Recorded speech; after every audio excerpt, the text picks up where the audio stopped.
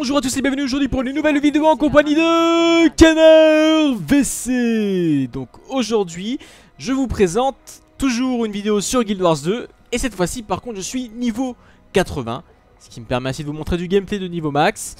Euh, cela dit, cela dit, cela dit, ce ne sera pas du gameplay classique que je vais vous présenter Puisque cette fois, ce sera du gameplay aquatique Première chose que je vais vous présenter dans la vidéo.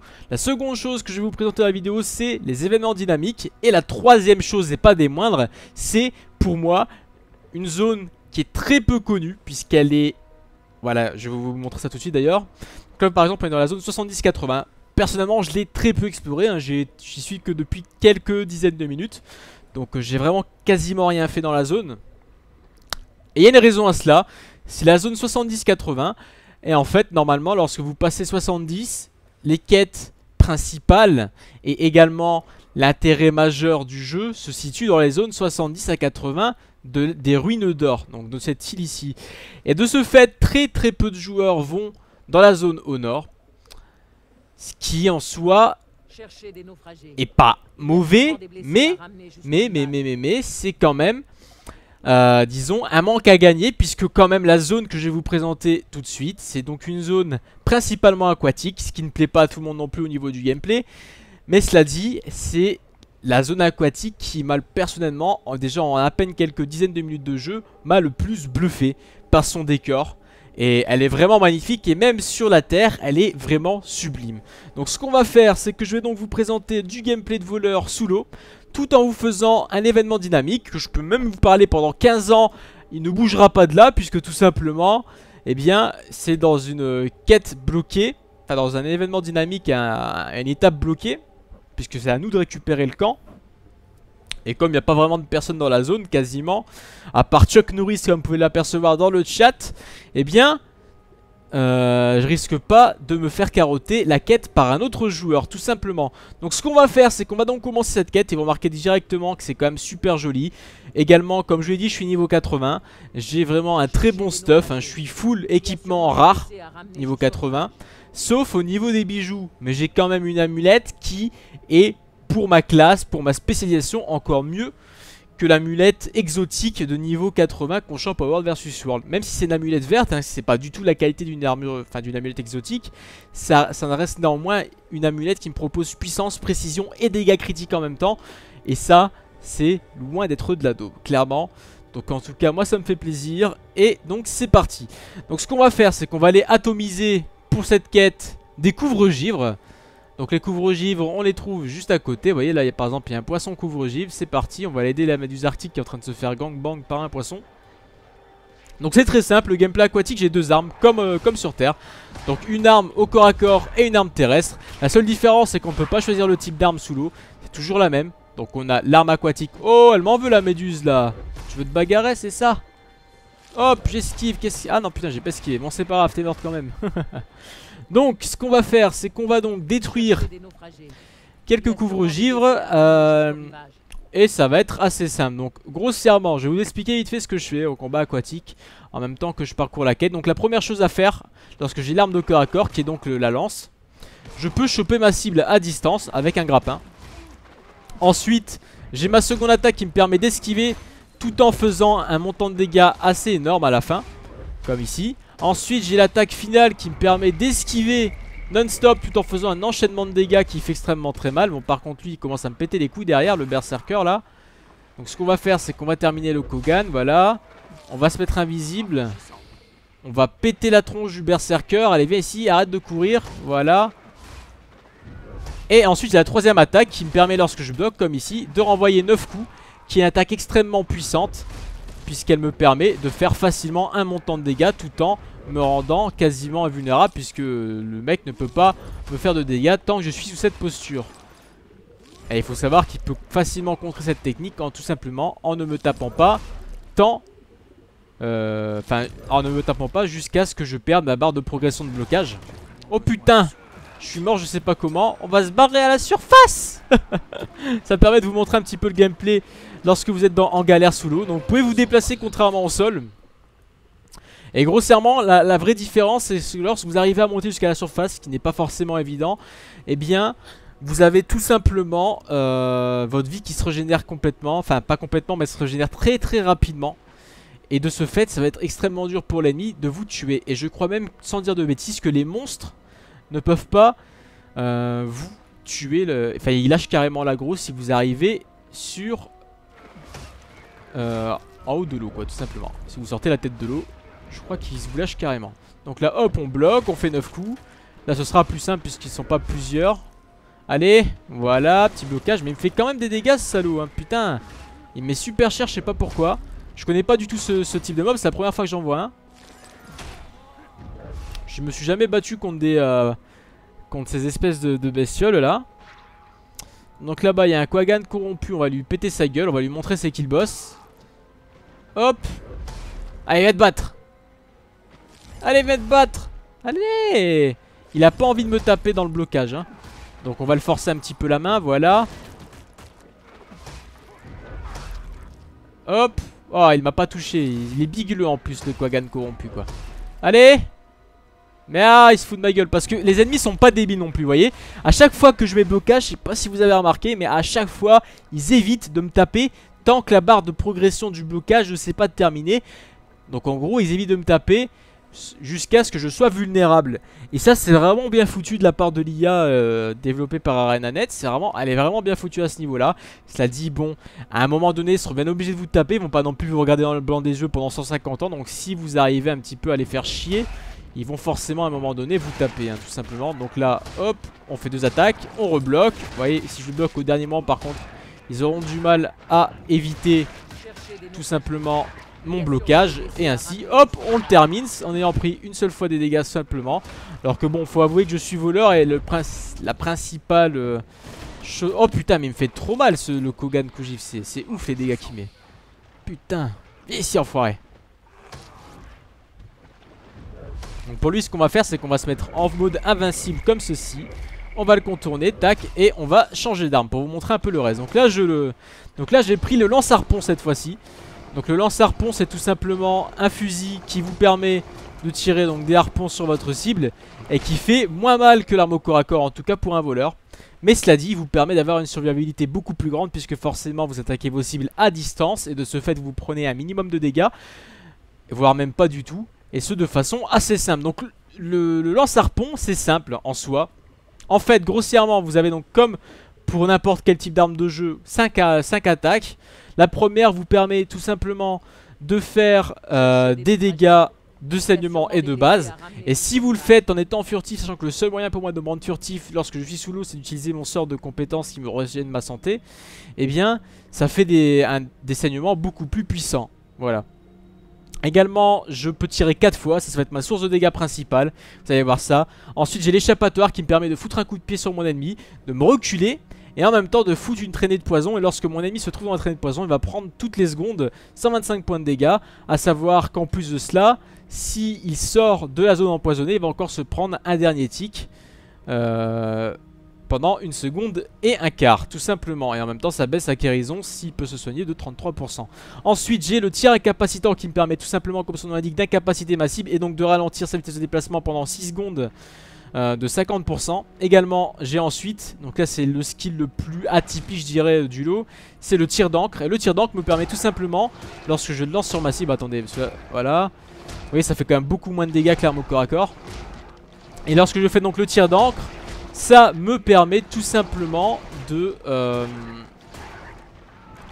lancer en fait le harpon sur ma cible Et ensuite de me propulser jusqu'à ma cible. Donc en fait, comme le grappin avec l'arme au corps à corps euh, sous l'eau, à la différence que la portée est beaucoup plus grande sur cette arme.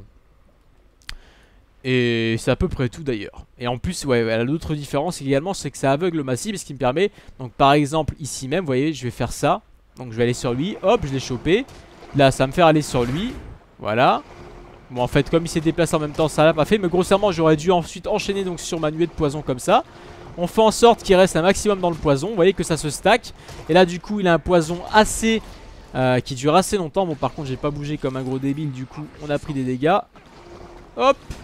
Et ainsi lui faire extrêmement mal. Il faut savoir aussi qu'à chaque fois que je lui fais un coup blanc Je monte euh, mon saignement. Et, et il a énormément de saignement sur la tête Donc plus le combat va durer avec cette arme, plus les dégâts seront importants sur la durée, tout simplement. Et ainsi, ça va me permettre moi... Mais oh, il régénère ce con, il est en train de bugger. Allez, viens ici, enfoiré de Quagan Arrête de t'échapper Oh, il a bugué le truc, quoi. Ah, bravo, c'est malin. Bah oui, c'est malin, tu bugs, enfoiré. Donc là, hop, je le ralentis. Je le pousse. Dégage. Choumette dans tes, dans tes gencives. Et on le termine avec l'attaque numéro 2 qui me permet de faire un montant de dégâts. Bon, en fait, non, ça l'a pas terminé. J'ai pas fait de coup critique, malheureusement. Et voilà. Donc, lorsqu'on termine un événement dynamique, alors, premièrement, ça nous donne à chaque fois de l'expérience. Ça nous donne des points de karma, qui est donc la monnaie. Euh, qui permet d'acheter du stuff tout au long de votre progression de niveau et également d'acheter du stuff niveau maximum de très très bonne qualité puisque ça va également jusqu'au stuff exotique et également euh, d'avoir un petit gain d'argent. Je sens que l'argent dans ce jeu, c'est loin d'être une, une source qui afflue dans tous les sens. Hein, parce que même si à peu près tout vous donnera de l'argent, il faut savoir que vous aurez très peu d'argent euh, sur vous-même.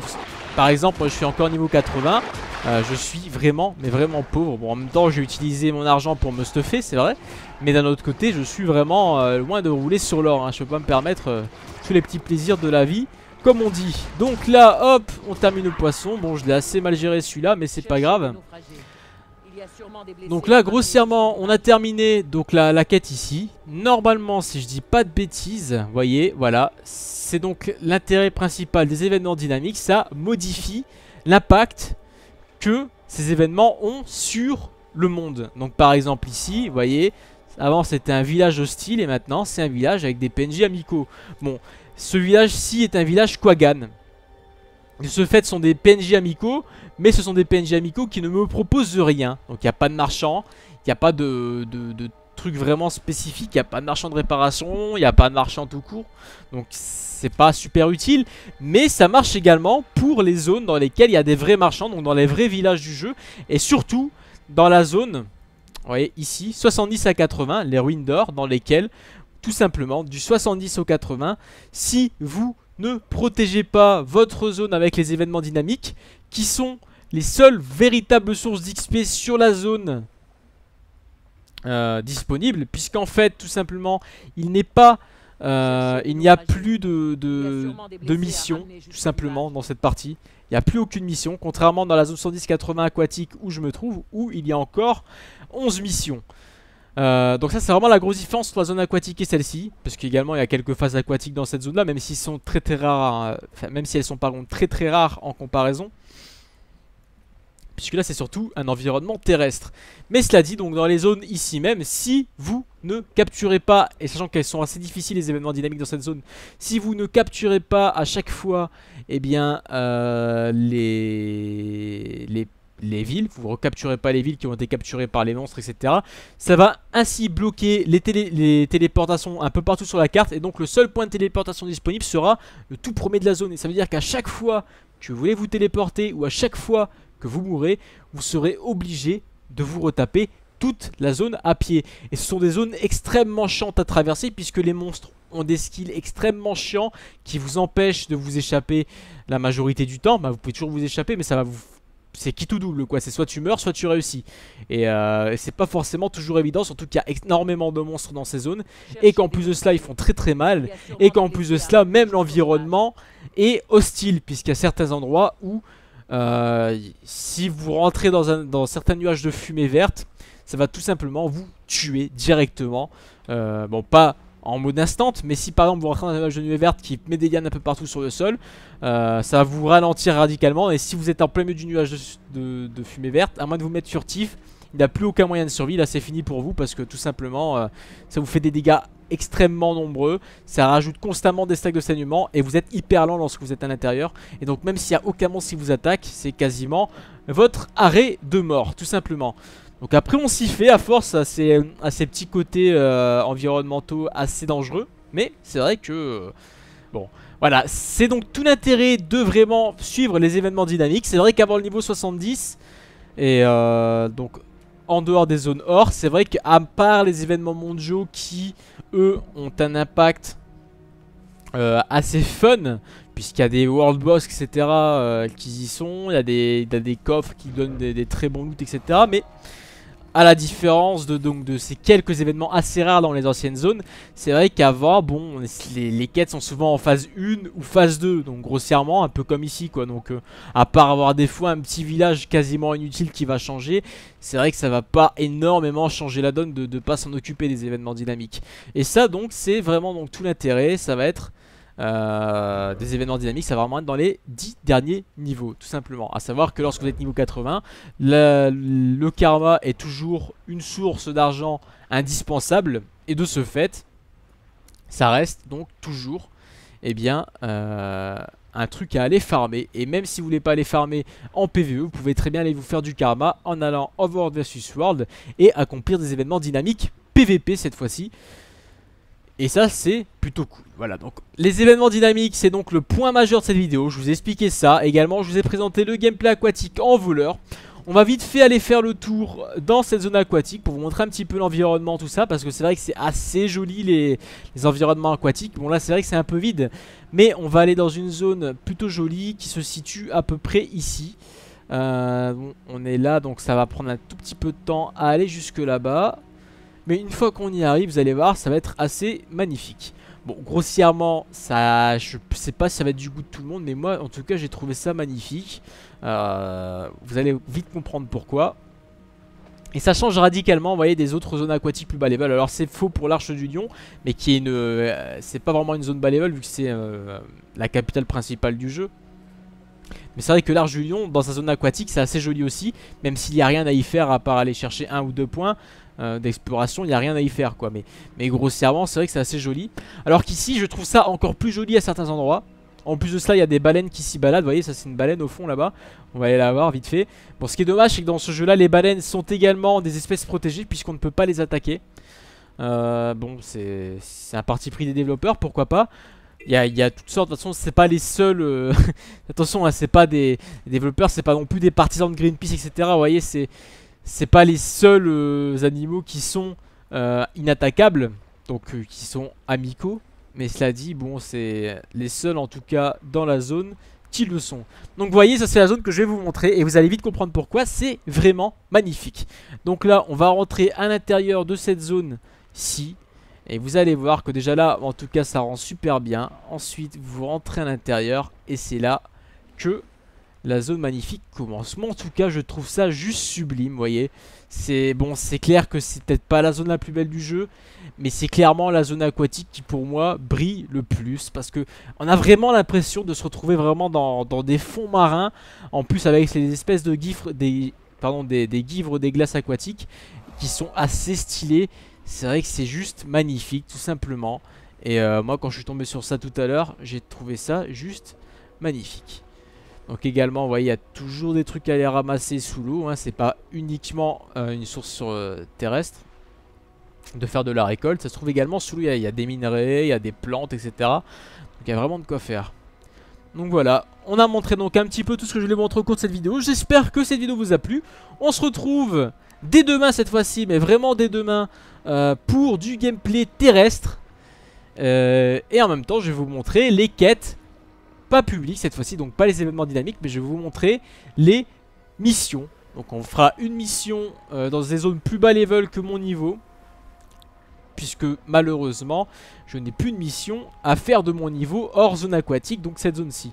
Parce que apparemment, toutes les quêtes de cette zone, toutes les missions sont des missions aquatiques. Donc euh, je vais pas vous refaire une vidéo aquatique euh, avant un bout de temps. Surtout que c'est vrai que c'est pas le gameplay plus fun du jeu. Clairement pas. C'est même l'un des, des moins impressionnants. Disons que c'est c'est... En fait, c'est pas que c'est mauvais, mais c'est plutôt que c'est mou. Et en PVP, c'est juste ridicule par contre, parce que là, les mecs, ils peuvent retourner à la surface et régénérer leur vie d'une façon complètement aberrante. En plus, le, gameplay PVP Aquatique est assez mou. C'est pas du tout un gameplay, vous voyez, qui est prévu pour... Euh, pour du PVP euh, vraiment compétitif, ni même du PVP, voyez, qui demandera un minimum de skill. Là, c'est vraiment du spamming de touches. Et c'est pas ce qu'il y a de plus intéressant. Donc euh, voilà. Bref, donc j'espère que cette vidéo vous a plu. On se retrouve très prochainement pour d'autres vidéos. Et donc toujours sur Guild Wars 2 et ensuite sur d'autres jeux également. De toute façon on ne va pas abandonner Guild Wars 2 avant plusieurs mois puisque ce jeu, je surkiffe tout simplement. Les vidéos PVP également ça va arriver très prochainement, ce sera pas la prochaine puisque demain comme je l'ai dit ce sera une vidéo terrestre en PVE. Mais je pense que la suivante ce sera une vidéo PVP et je pense même que ce sera en World vs World puisque j'adore ce mode de jeu, tout simplement. A la prochaine tout le monde donc, ciao ciao